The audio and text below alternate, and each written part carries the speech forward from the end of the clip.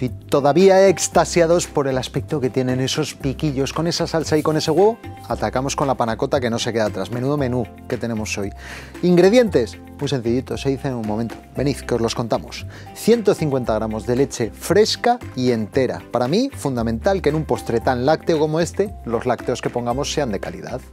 Por otra parte, 225 de un buen yogur cremoso y artesano y 75 y solo 75 gramos de azúcar, cortito de azúcar. Media vaina de vainilla, he sacado otra entera para que la veáis, hablar un poco de la vainilla. Y por aquí tenemos ya dos colas de gelatina rehidratadas, aquí la tenemos seca, para que sepáis cómo es seca, que siempre lo hacemos en la pera limonera por si alguien se ha unido y nunca las ha trabajado. Y luego haremos una especie de salsa, tropezones maravillosos, con arándanos frescos, un pelín de azúcar, pero un pelín nada más, ralladura y zumo de limón. Y con eso, panacotaca. Panacotaca. Venga, vamos al lío. Lo primero de todo, ponemos por aquí, fijaos, la leche, como siempre, humedecemos ligeramente el fondo del cazo esto mola y mucho para evitar agarrones. Si se te olvida la leche ahí, se te va a salir y se te va a agarrar, eso es así. Pero si hacemos bien las cosas, esa humedad que hemos puesto ahí ayuda mucho a que no se nos agarre. Y tenemos aquí la vainilla. Hacía mucho que no usamos vainas de vainilla en la pera limonera porque sí que es cierto que han subido de precio una barbaridad y ya sabéis que es primordial hacer cocina económica y del día a día en la pera y cuesta encontrarlas y cuando las encontramos están de precio subiditas, pero bueno, de vez en cuando podemos hacerlo. ¿Qué cogemos? La vaina, de vaina pequeñita, vainilla. Las palabras nos dicen lo que, es lo que son las cosas. Vamos a abrir por la mitad, tal que así, mirad, mirad, acerca por aquí y así veis todo. ¿Qué tiene dentro la vainilla? Bueno, pues todas las semillitas, son las semillas y son las semillas las que dan sabor. Si la vaina de vainilla es buena como esta, que es vainilla bourbon, que lo habréis oído alguna vez, el lado de vainilla bourbon es esta vainilla que viene de Madagascar, que es potente de sabor y si la pruebas tal cual es hasta demasiado fuerte. Cunde mucho, que es otra cosa importante. Lo que hacemos es, fijaos, rascamos el interior de la vainilla con la puntilla, mirad, todo eso son las pepitas. Si tú pruebas eso así tal cual, un poquito, porque todo es una barbaridad, te sabe hasta, es tan fuerte que te sabe un poco aceituna negra. Tiene matices de aceituna negra. Mirad, sacamos la otra mitad y así lo veis de maravilla. Rascamos y mirad todo lo que sale. Pues todo eso es sabor a más no poder. Media vaina es más que suficiente para lo que estamos haciendo. Vale, y ponemos también la vaina. Incluso la vaina, muchas veces, la vaina lo que tenemos que hacer es, cuando la saquemos de ahí, la podemos secar a conciencia, secarla y hacer un azúcar avainillado triturándola. La secamos en el horno a 100 grados, una cosita así o menos, a 80, la dejamos ahí un buen rato y luego trituramos con azúcar. Y tenemos azúcar avainillado, pero natural y del bueno. Es una buena historia, ¿vale? Vamos a dejar que eso infusione y le vamos a poner también para que se disuelva el azúcar, solo 75 gramos de azúcar. ¿Cómo dejamos que infusione? Muy fácil. Dejamos que levante el hervor, ponemos la tapa y lo tenemos listo, que libere la vainilla su esencia. Vamos a dar unas vueltecicas para que se suelten los granos de vainilla, las semillitas y para que el azúcar se disuelva. Esta primera parte ya la tenemos.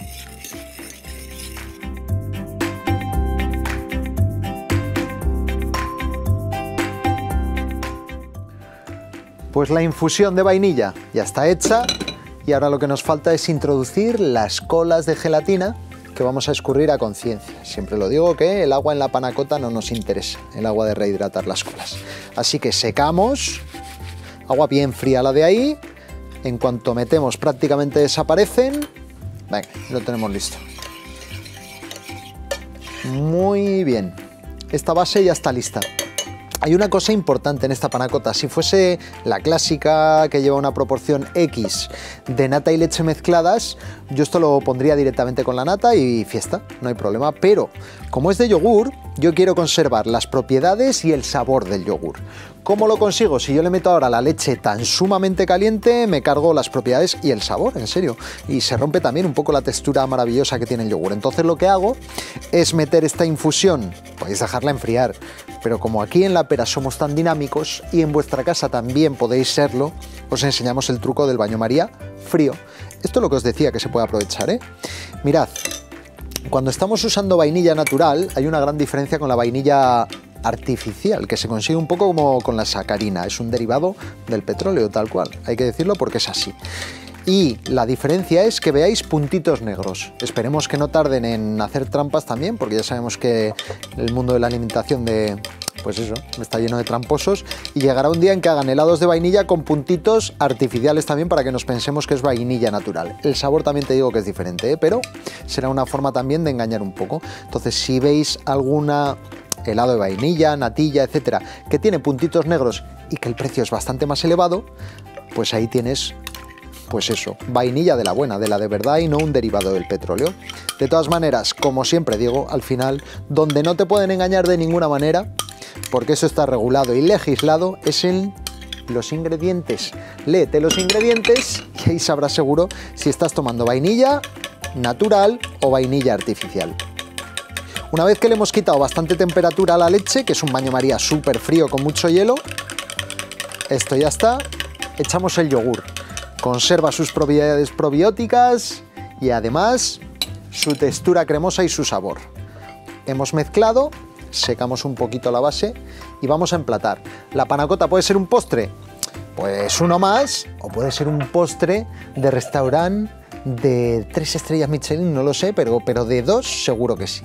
La vamos a poner en la versión más de andar por casa, pero si quieres tirarte el moco y hacer algo que se salga de la norma, coge una copa de balón de gin tonic de lo que tengas por ahí y emplatas aquí.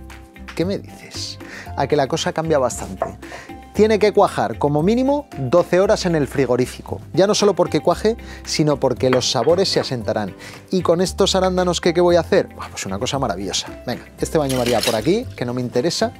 Cogemos los arándanos que ya están lavaditos, le ponemos un toquecico de azúcar de nada, ralladura de limón, un poquito de zumo, pero solo un poquito, para sacar un poco la acidez. Me he pasado de cortar. Ahí está, unas goticas de nada, lo tenemos, cogemos un tenedor y dejamos que esto, mientras enfría la panacota, se vaya macerando. Es una combinación maravillosa entre mermelada fresca, fruta entera, fruta chafada, salsa, una cosa rara, rara, rara, que decía Papucci, ¿os acordáis?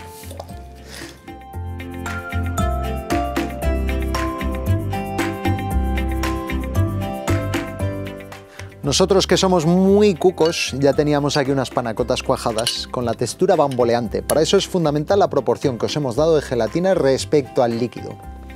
Depositamos el maravilloso mejunje de arándanos. Con las pinzas de postureo le ponemos unas brotecitos de menta tal que así.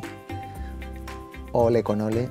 Y aquí en esta copa. No me digáis que no queda un postre a la altura de los mejores restaurantes. Expresión muy graciosa. Venga, ponemos por aquí un poquito más, una hojita de menta también.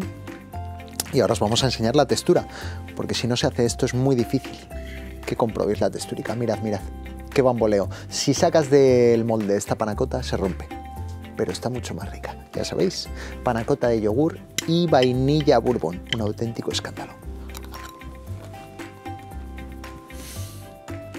Wow.